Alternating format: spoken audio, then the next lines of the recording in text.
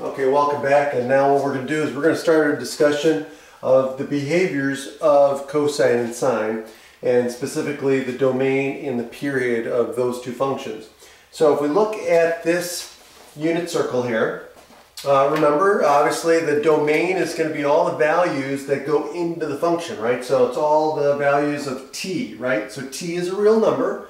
So remember, we're taking t. t is the measurement of the arc length from zero, right? So zero's here. And we're measuring from the distance from zero. So t is a real number that goes all the way around. Again, in the counterclockwise direction, it's positive. In the clockwise direction, it's negative. Just like on the real number line, by construction, numbers to the left of zero are negative. To the right of zero is positive. So similarly, if we go counterclockwise, that's the positive direction. And of course, the distance we can go is going to go all the way back around. But again, we're measuring from the original distance. So if we measure all the way around, that's 2 pi, but we can keep going. And so we can measure another revolution to 4 pi, and we can go another revolution all the way to 6 pi. So the range, and again, we could do that again in the negative direction too. So the range of sine and cosine is going to be, um, or excuse me, not the, the range, the, uh, the domain of sine and cosine is going to be all real numbers. Okay? Because you just can keep going around and around the circle. Um, uh, let's see here. Oops.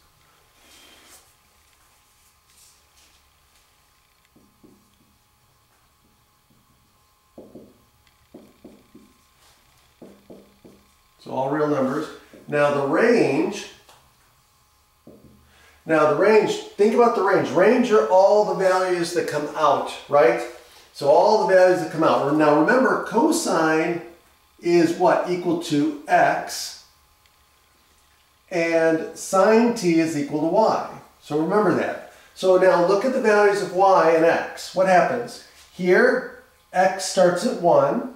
And as you travel around the circle, it goes to zero, and then it goes to negative one, and then back to zero, and then back to positive one. So, and then as you go around, it does the same thing.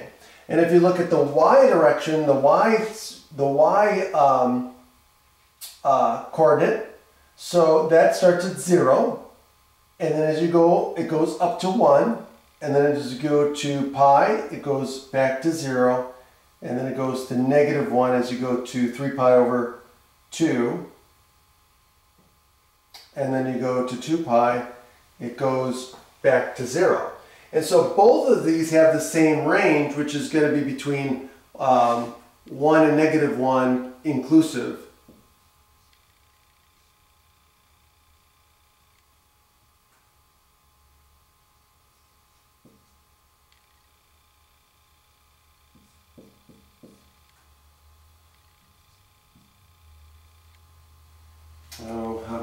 Write this? Um, running out of room.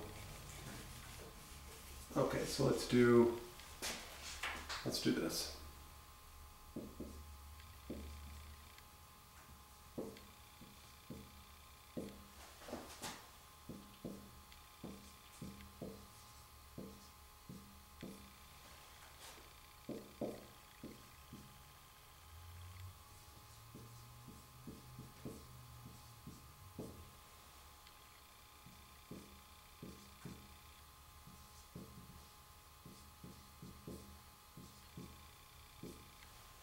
Okay. So x and y have the same range, right? Cosine t and sine t have the same range. Now, so notice uh, also, like I said, we can keep going around and around the circle. Now, here's the thing. If I go around once full revolution, remember zero is the same as 2 pi, which is the same as 4 pi when it comes to the value of sine and cosine. Okay, and in fact, if we remember that 2 pi is one revolution around the circle, then any point on the circle, we can get back to that point by just adding 2 pi. Okay? In fact, it doesn't even matter how many times we go around the, the, the, the circle, right? We can go around the circle a hundred times and add, add multiple um, revolutions. So if we start at this point here, we can do as many multiples of 2 pi, right? It, that'll bring us full circle back to the same point. And so we can do multiples of 2 pi, okay? And so that brings us to another conclusion that using the fact that we can go one revolution, two revolutions, three, and, and, and more, as many as we want to, that we have this relationship. So we can take cosine t will be equal to um, um, well, first we'll do, obviously from what we just discussed, this would be cosine 2 plus, or t plus 2 pi, right? And then we have sine t is going to be equal to sine of t plus 2 pi, right? So all we're going to do is go one revolution, so that's going to bring us to the same point, right? So in other words, sine of 0 is the same as sine of 2 pi, which is the same as sine of 4 pi. If I go to pi over 4, right, this point here, well, if I go to one revolution, well, that means sine of, uh, let's say sine of pi over 4,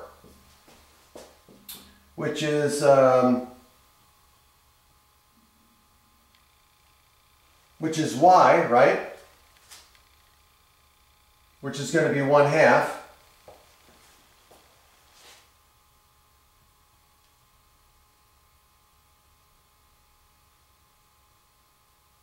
Okay, but that's also going to be equal to sine of pi 4, pi over 4 plus 2 pi,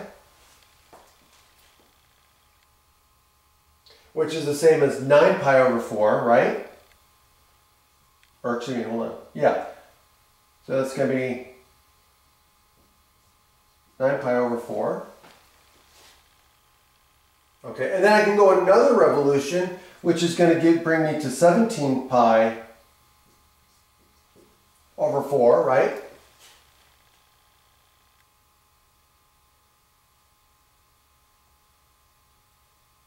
And so I get this relationship here, and the same relationship holds for cosine.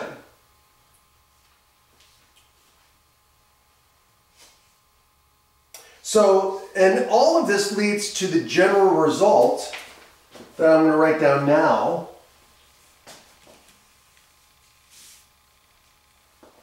Is that I can go any multiple of 2 pi and I'm going to get the same answer. So the general result is that cosine t and sine t are going to be also equal to the general case, which is going to be equal to cosine t, in this case plus 2n pi, right? So any multiple of, where n is an integer, right? So n is an integer. Okay, and then sine t plus 2n pi, right? So any multiple of 2 pi, where again n is an integer.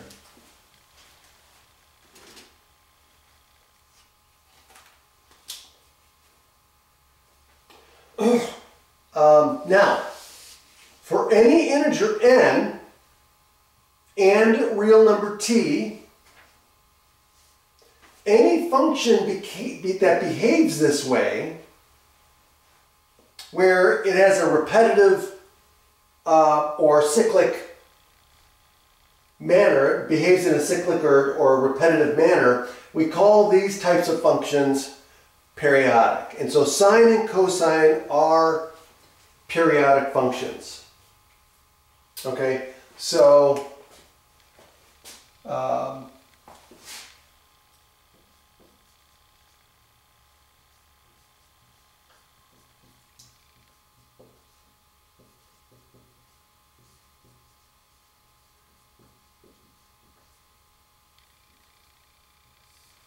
Now, the other functions um, that we're going to discuss, the other trigonometric functions are also periodic, but we're going to discuss those uh, at a later time in another section. Um, but um, suffice it to say that these are periodic functions, and uh, we'll stop there and uh, continue next time. Have a great day.